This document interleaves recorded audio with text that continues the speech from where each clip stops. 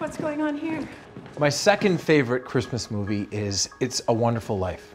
And I was very lucky to be able to rewatch that movie last week. Episode 9 is called What We Left Behind, and coming out of the crossover episode from last week, Oliver is newly optimistic. It inspired me to recommit myself to making our city, our home, a better and safer place. Cheers. He comes into this episode with this renewed sense of his mission and also, especially, of his drive to come after and get Prometheus. We had a deal. I get you the intel, I get to be there when you take him down. Prometheus is a different kind of villain. He's drawing him in on a psychological basis, and he's his whole drive is to torture him and to torture him psychologically. You haven't been listening. I'm not going to kill him. I'm going to make him wish he was dead.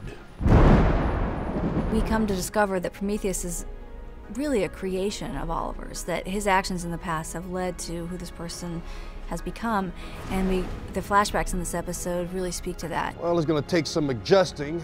Not trying to catch you giving me the slip. We've always wanted to go back and see Oliver in season one and see some of the stories and the guys he went after um, that we didn't get to do in the episodes. We had so many stories to tell in that first season. This is an opportunity to tell one of them. You have failed this city.